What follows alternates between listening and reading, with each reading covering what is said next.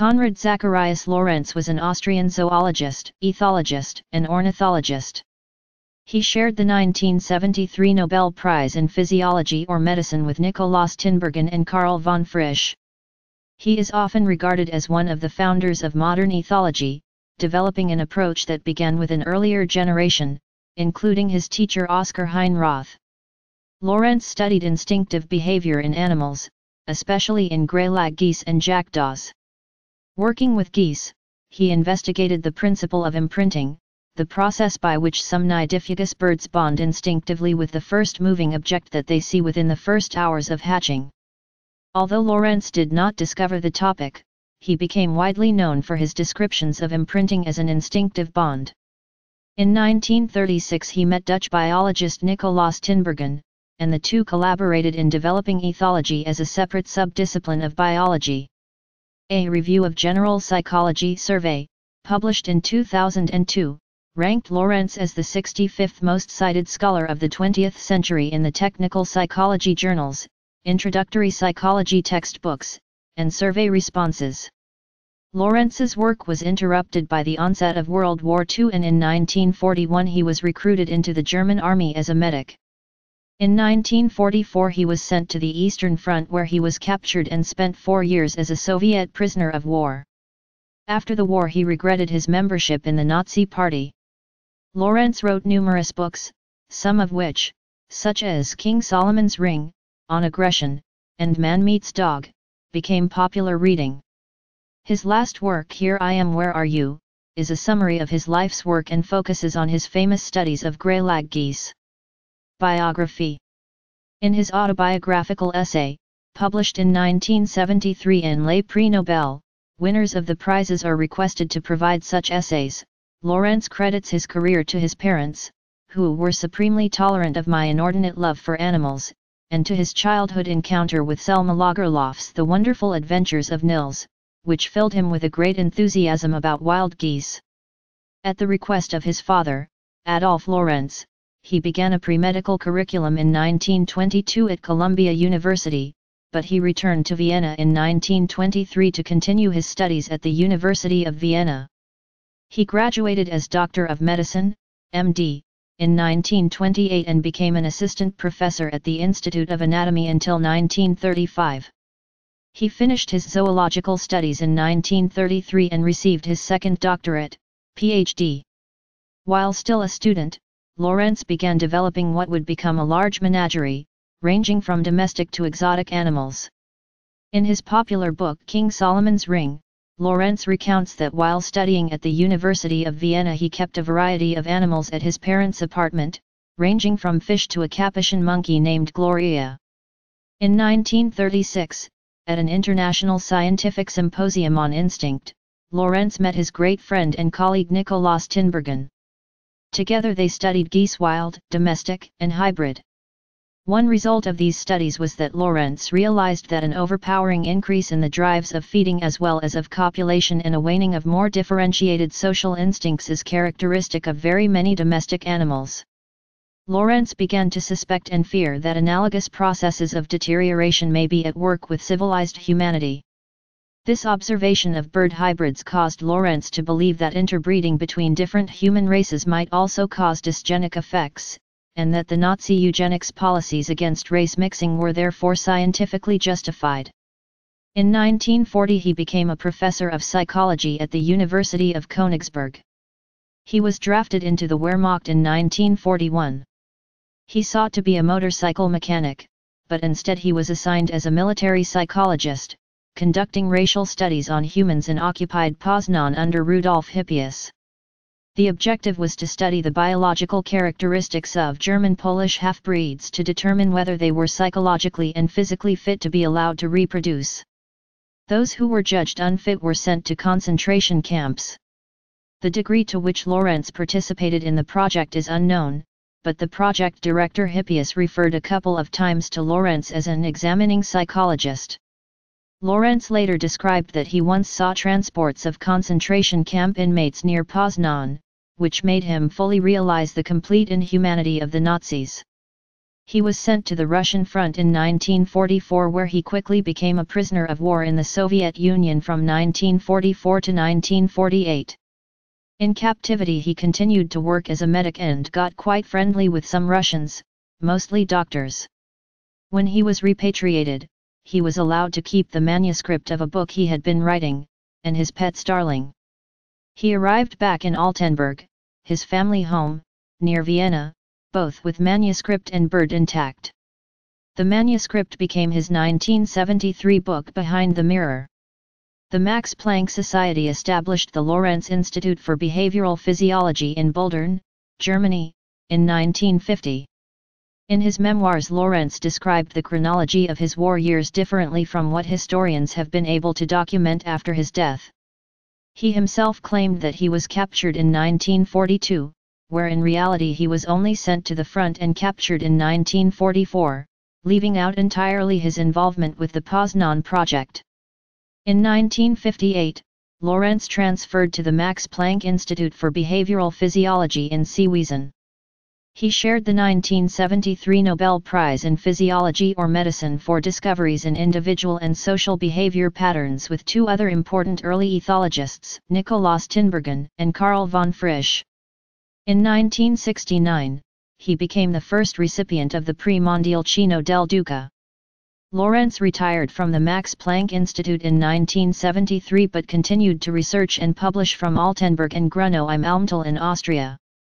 Lorenz died on February 27, 1989 in Altenburg. Lorenz was also a friend and student of renowned biologist Sir Julian Huxley, grandson of Darwin's bulldog, Thomas Henry Huxley. Famed psychoanalyst Ralph Greenson and Sir Peter Scott were good friends.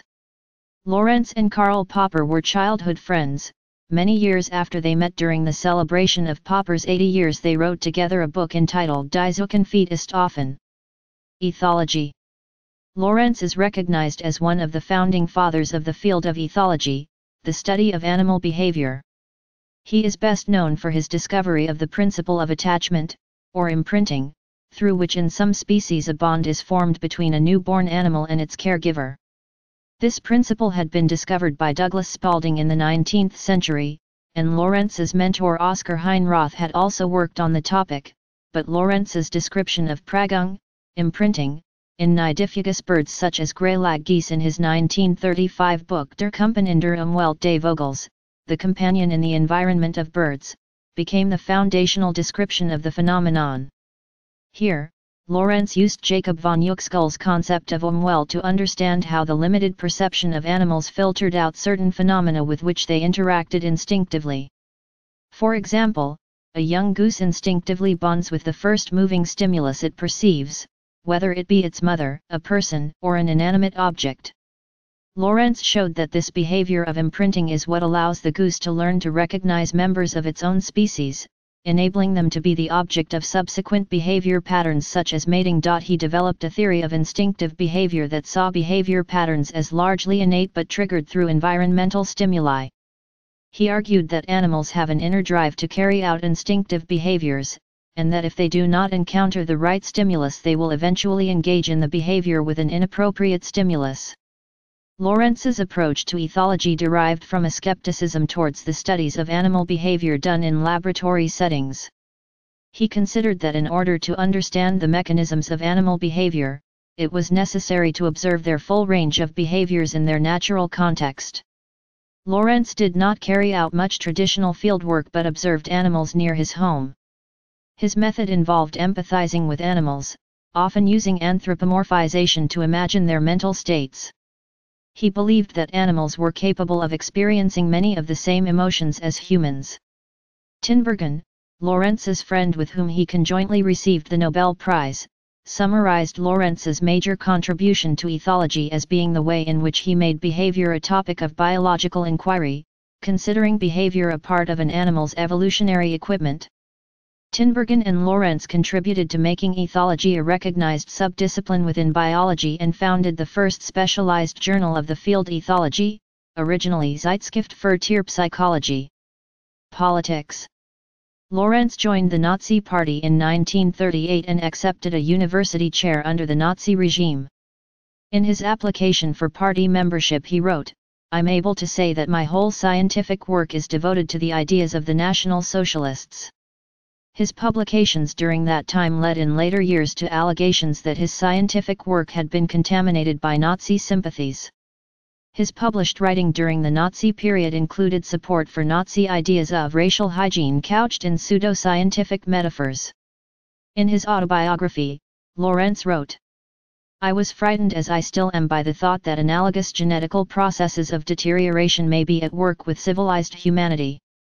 Moved by this fear, I did a very ill-advised thing soon after the Germans had invaded Austria, I wrote about the dangers of domestication and, in order to be understood, I couched my writing in the worst of Nazi terminology.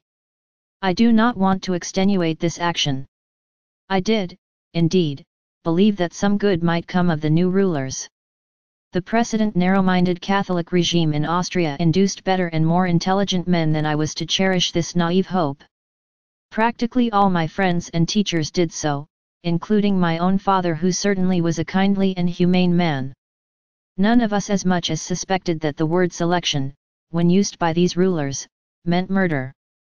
I regret those writings not so much for the undeniable discredit they reflect on my person as for their effect of hampering the future recognition of the dangers of domestication. After the war, Lorenz denied having been a party member, until his membership application was made public, and he denied having known the extent of the genocide, despite his position as a psychologist in the Office of Racial Policy. He also denied having ever held anti-Semitic views, but was later shown to have used frequent anti-Semitic language in a series of letters to his mentor Heinroth. In 2015, the University of Salzburg posthumously rescinded an honorary doctorate awarded to Lorenz in 1983, citing his party membership and his assertions in his application that he was always a National Socialist, and that his work stands to serve National Socialist thought. The university also accused him of using his work to spread basic elements of the racist ideology of National Socialism. During the final years of his life, Lorenz supported the fledgling Austrian Green Party and in 1984 became the figurehead of the Konrad Lorenz Volksbegehren, a grassroots movement that was formed to prevent the building of a power plant at the Danube near Hainburg an der Donau and thus the destruction of the surrounding woodland. Contributions and Legacy Lorenz has been called the father of ethology, by Nico Tinbergen. Perhaps Lorenz's most important contribution to ethology was his idea that behavior patterns can be studied as anatomical organs. This concept forms the foundation of ethological research. Together with Nikolaas Tinbergen, Lorenz developed the idea of an innate releasing mechanism to explain instinctive behaviors, fixed action patterns. They experimented with supernormal stimuli such as giant eggs or dummy bird beaks which they found could release the fixed action patterns more powerfully than the natural objects for which the behaviors were adapted. Influenced by the ideas of William McDougall, Lorenz developed this into a psychohydraulic model of the motivation of behavior, which tended towards group selectionist ideas, which were influential in the 1960s. Another of his contributions to ethology is his work on imprinting. His influence on a younger generation of ethologists, and his popular works, were important in bringing ethology to the attention of the general public. Lorenz claimed that there was widespread contempt for the descriptive sciences. He attributed this to the denial of perception as the source of all scientific knowledge, a denial that has been elevated to the status of religion. He wrote that in comparative behavioral research, it is necessary to describe various patterns of movement, record them, and above all, render them unmistakably recognizable. There are three research institutions named after Lorenz in Austria, the Konrad Lorenz Institute for Evolution and Cognition Research, KLI, was housed in Lorenz family mansion at Altenburg before moving to Klosterneuburg in 2013 the Konrad Lorenz Forschungsstelle, KLF, at his former field station in Grunau, and the Konrad Lorenz Institute of Ethology, an external research facility of the University of Veterinary Medicine Vienna. Lorenz, like other ethologists, performed research largely by observation, or by experiment in a natural setting.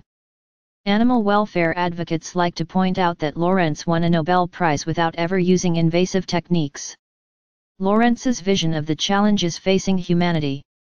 Lorenz also predicted the relationship between market economics and the threat of ecological catastrophe. In his 1973 book, Civilized Man's Eight Deadly Sins, Konrad Lorenz addresses the following paradox.